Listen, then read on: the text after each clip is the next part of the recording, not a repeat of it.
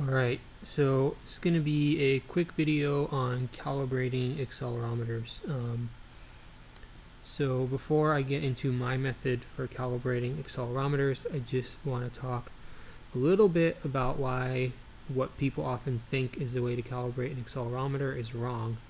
And that is because you have 1g of force uh, at all times coming down. And now if you look at my graph, that 1g is being translated onto all three axes at random values. And now, if one of these axes is off, it doesn't stop you from moving it to zero. Like I can move red to zero, I can move blue to zero, I can move green to zero, right? So we don't really know. The fact that an axis is at zero or not zero is not really helpful. In fact, any position of all three axes is essentially useless. Uh, the only way you can have a meaningful kind of read on three axes at once is if you have like a perfectly calibrated surface that you know is perfectly calibrated and then you know your IMU is perfectly flat on that. Now if your IMU is already in a vehicle that's going to be really hard to do. Um, and so I've come up with a simple method that we can use to make sure that we're calibrating it properly and that is to go one axis at a time. Now this is a great example IMU because if I just put it down on the table and you look at our green axis, uh, annoyingly I spiked it so it's hard to see, but you might notice that the green is over 1. Now if you think about that, that has to be wrong and that's kind of our clue for what we're going to be doing to calibrate. So essentially you want to freely rotate your IMU in space or your whole vehicle once it's mounted and look at just one axis at a time and find the highest value that it'll go to. And right now, this green, I'm going to wiggle it a little bit. You can see me wiggling it there. And try to find its highest point. And once I have its highest point, I can then offset that to bring that to 1. And in this case, it's too high, so it's really obvious. Sometimes it'll be too low. So let's take a look at this red axis now.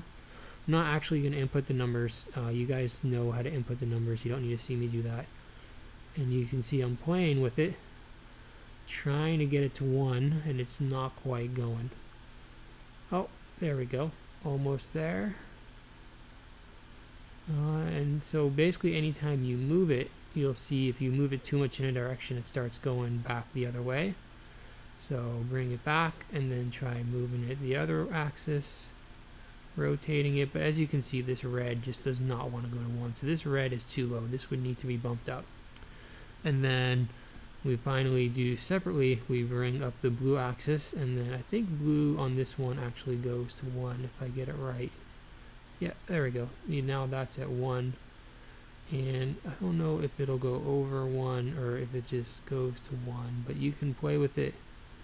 Take your time. It seems like that's about as high as it's gonna go. So it looks like my blue is accurate my red is too low and my green is too high. But if I were to just like flip this in some weird way and be like oh look green and red are both at zero so this means blue is wrong right? No. Look right now actually green and red are 0 and blue is 1. How is that even possible? That looks like it's accurate. But it is not accurate. So the way to know is to do it one axis at a time. Now if you knew that you had a perfectly level surface that you put your thing on, you might be able to just offset everything so that it's 0, 0, 1 and you're convinced that that's accurate. Um, but I find this method is a little bit better. Um, and this will also work if your IMU is mounted in some random orientation. Um, a weird thing to note is that if you do this calibration detection, uh, it's going to do that with an uncalibrated accelerometer. And so it'll pick a level space for you. And then once you do that, when you apply the accelerometer offsets, it's actually going to rotate your vehicle slightly.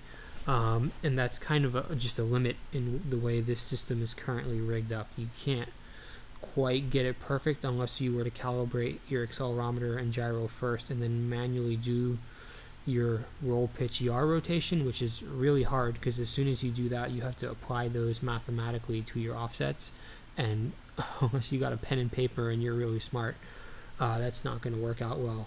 Um, so what I do is I just detect calibration. I then manually do my accelerometer one axis at a time and I take the slight hit that maybe my level is not 100% perfectly level and I'm okay with that. Uh, hopefully in the future I will build a better accelerometer, a better detection system where it'll kind of walk you through all the steps of doing this. Um, but I'm kind of lazy. So we'll see what happens with that. Um, so that's basically it for on how to calibrate accelerometers. I've got some other ones here. Let me hook up this one. Uh, so this one here, and just take a look at another one.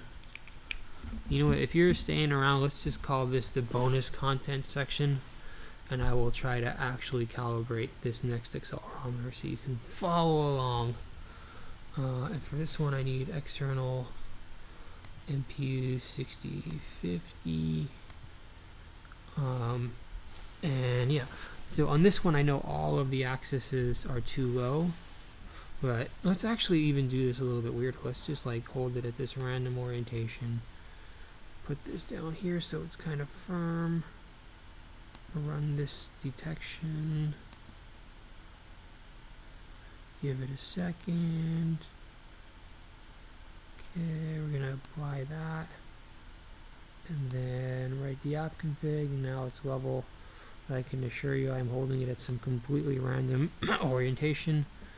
Uh, and now this accelerometer, like I'm holding it flat right now, and these axes are crazy, which is why you'd never be able to figure this out unless you take it one axis at a time. So let's bring up blue, rotating it along one axis. This is the highest it'll go, and then rotate it the other way. See how high it'll go. This one is terrible. Oh my gosh.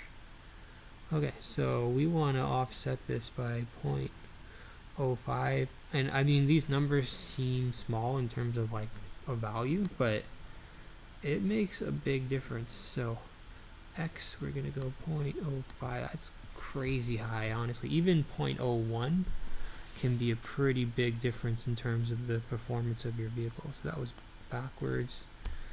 Make that negative. Boom. Okay. That is looking better. Yep. Okay. I'm to call that good. And now let's go with the, let's go for red.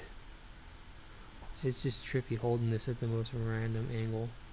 I don't have my camera on so you guys can't see, but it's pretty confusing. Okay, this one is also low. Oh, okay. I think this is the highest we're to get it. Uh, we want to go like point 0.04 maybe. Let's go 0.03, see how that looks. Boom, okay, that's that's better. I'd say that's okay. Maybe you'd want 0.3, 3, or 5 or something. And now we'll try to get our green axis up there. Uh, and see where this goes. Green axis is doing pretty good. This is the best of the axes so far.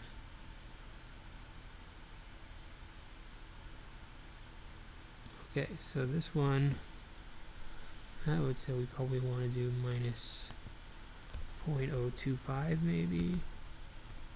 Let's try that. Boom, okay, and now, no, that's not perfect. But anyway, you get the point. Now we're calibrated. And yeah, you don't want to pay attention to those spikes. Those are not, not real values. You want it to be settled in at a maximum value. And now, none of all of our axes can go to 1, and they can't go over 1. Now, if you want to be completely crazy OCD, um, you can try measuring the minimum and max values because sometimes the range on a single axis is not a full 1 and maybe centering it would work better, but I'm not actually convinced that that's better. I think you might be better off because you're never riding upside down. So I think you might be better off having it the top half maybe more accurate. I don't know. You can try centering it, but for me, I find it's good enough to just measure it one axis at a time get the maximum value, offset based off of that, and now you know, like when your maximum value is not one, you know that's wrong for sure. Versus trying to like look at what zero is, like zero is just meaningless because any axis can be rotated to zero. So that's it for this one. Yeah, and if I think I said it like three times already, but if you have a perfect surface and everything's calibrated, uh, you can like just try to go for zero zero one. Um, also, I think the proper method that they recommend for calibrating is to like get a calibrated surface, measure like all six sides and all the axes on all six sides, and then average them out. Uh, but that's a lot of work. So this is kind of the poor man's method of doing it. Anyway, hope that's helpful and not too rambly. Oh my god, 11 minutes. cool. Uh, enjoy.